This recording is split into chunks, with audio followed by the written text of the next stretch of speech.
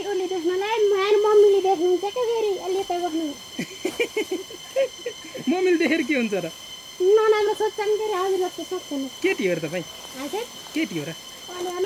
केटी भएको नराम्रो सोध्ने कि तपाईँ? केटा हो उम्, कि केटाकेटी सँगै मिसिएको र? कि केटाकेटी मिसिए र तपाईँमा? स्वरमा त मिसिए रहेछ।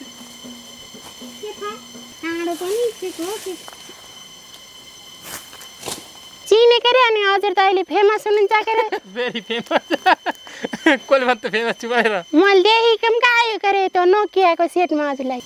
जेलैमा हो जेलैमा चरी जेलैमा मै छोरी रुँदै रुँदै घाँसको मेलाइमा हो मै छोरी रुँदै रुँदै घाँसको मेलाइमा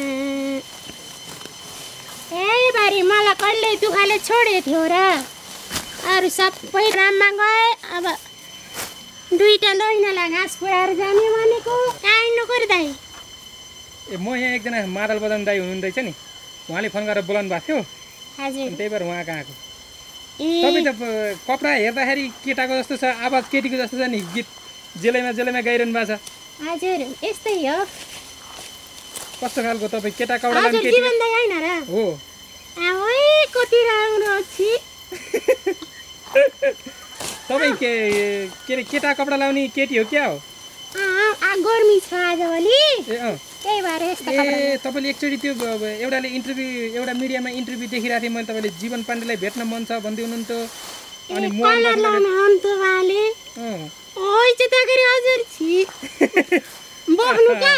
म त एउटा दाइकोमा आउँछु भनेको तपाईँले भेटाएँ त बाटैमा अँ, हो, मलाई मलाई भेट्न ल्याउनुको अँ। ए तपाईँ त अरू अरू ककसको पनि राम्रो बोल्नुहुन्छ है। हजुर बोल्छु के अरे आजभोलि बोलिन्छ। ए तपाईँ केटी नै त होइन नि? होइन। ए होइन। पारेको है। ए ल अब बसेर गफ गर्नु पर्यो। ल हुन्छ बस्नु बस्नु न यता। कहाँ बस्ने त यस्तोमा? केही हुन्न कि यस्तै यो गाउँको बाटो तल ओह्राली गनी बस्ने। भारी पुग हो। अब पुग्ला नि। हजुर आउनु अनि। यस्तो घाँस केले खान्छ त यो घाँस? यो हाम्रो घर बुढो लैनाले खान्छ। बुढो लैन। हजुर। ए बुढो भैँसी छ घरमा कि गाई?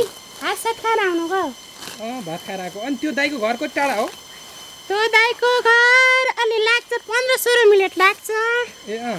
मसित जानु नि आधी घन्टा जस्तै लाग्छ। ए किन नि तपाईँसित जाँदा आधी घन्टा लाग्यो? अलि त्यस्तै रमाइलो हुन्छ। ए। यो काँडो पनि के को के अनि अरू के छ नयाँ ताजा खबर गाउँको? अरे सबै ठिकै छ। अनि कहाँ आउनु पऱ्यो हजुर? म त अहिले घर आएको थिएँ। हजुर। अनि त्यो दाईले घर आएको बेला फोन गरेर बोलाउनु भएको थियो तिजको गीत गाउनुहुन्छ अरे मादल बजाएर। हजुर। अनि अरू अरू पुराना पुराना भाकाहरू पनि गाउनुहुन्छ अरे त्यही भएर एकजना त्यो आरन पनि गर्नुहुन्छ नि एकजना दाई बिरे दाई। आफन्ती हो। उहाँ? ए त्यसै उहाँको मान्छे सँगै जाने भयो ल। तपाईँ एकदम भयङ्कर कला भएको मान्छे भनेर सुनेको थिएँ मैले। छैन कला। मलाई एकजनाले भन्नुभएको थियो। तपाईँलाई नि यही गाउँमा भेट्दा त मलाई एकदम खुसी लाग्यो। अब घाँस काट्ने फेरि तपाईँलाई यो घाँस काट्न भारी पुग्नलाई ढिलो हुने हो कि म बसेर डिस्टर्ब गरिदिएर? हुन्न गफ गर्दै गर्ने कि बसेर गफ गर्ने बसेर नि गरौँला मुख बोलाउने भयो छ ए। फेरि उसले देख्नलाई मेरो मम्मीले देख्नुहुन्छ क्या फेरि अहिले यता बस्नु मम्मीले देखेर के हुन्छ र? नराम्रो सोध्छन् फेरि हजुर जस्तो सोध्छन् केटी हो र तपाईँ? हजुर। केटी हो र? केटी भएको नराम्रो सोध्ने कि तपाईँ? केटा हो उम्, कि केटाकेटी सँगै मिसिएको र? हजुर। कि केटाकेटी मिसिए र तपाईँमा? स्वरमा त के थाहा के त? ल बसेर गफ गरौँ है तपाईँसँग। हुन्छ। तपाईँको टन्नै कला छ भन्ने सुनेको थिएँ मैले। ल बसेर गफ गरौँ।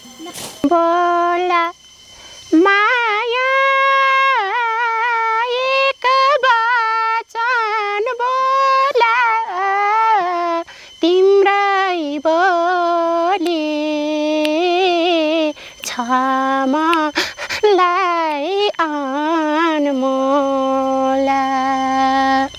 तिम्रै बोली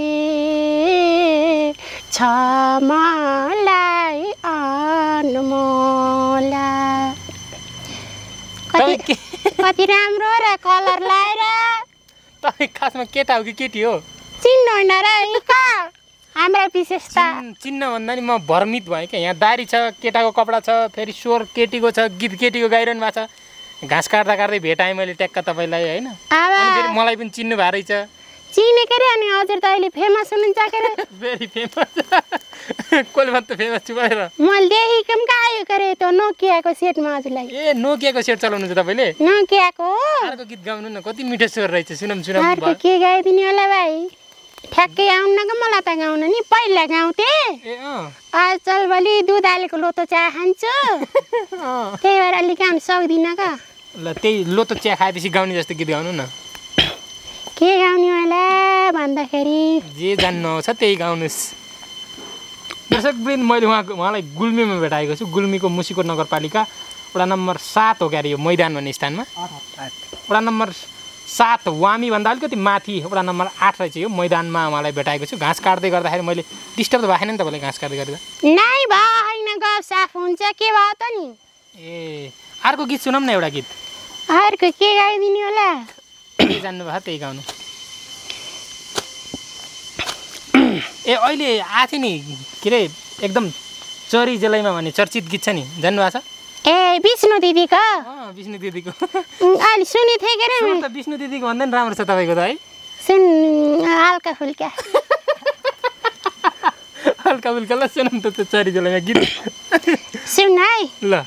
हजुर फेरि नरुनला फेरि। ए ल ल ल रुन्न जेलैमा हो जेलैमा चरी जेलैमा। मै छोरी रुँदै रुँदै। घाँसको मेलैमा। ओ मै छोरी रुँदै रुँदै घाँसको मेलैमा। फेरि गीत बिगाएर भनेर फेरि तपाईँले फोन आउला नि गाली गानु गानुला नि। यो त घाँसको मेलैमा नभएर अर्कै थियो क्या गीतमा त।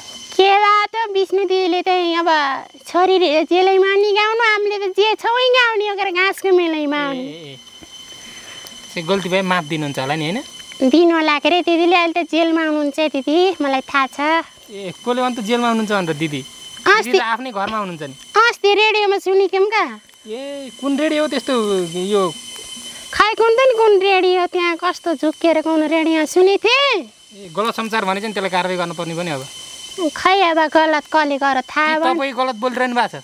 होइन म बोली होइन भाइ कसम भाइ बोली हेर्दा त तपाईँ गलत गलत बोल्नुहुन्छ जस्तो नै बोली होइन अरू? कलर लाउनु छ अँ, कल हो नि सुन लाएको थिएँ मैले यहाँ सुन र होइन तलैदेखि माथिसम्म सुनै सुन थियो यो तलको तलको सुन निकालेँ अहिले के यस्तै जन्मनीको र? ती जहाँ बुढीलाई गहना बनाइदिनु भनेर तल तलको सुन निकालेँ। यो माथि माथिको सुन छ अब यसलाई निकाल्दैछु। ए हो र। फेरि यति सुन त राखेको छु फेरि कपालमा सधैँ सुन लाउनु पाइन्छ मेरो। हजुर। त्यही भएर तपाईँलाई खुब मनपर्छ अरे नि सुन लगाएको कति मनपर्छ अब के गर्ने अब? तपाईँले त लाउनु होइन। छैन नि त के लाम त बाले चाँदीको लगाइदिएको थिएँ त्यही पनि उहाँले फालिदिएको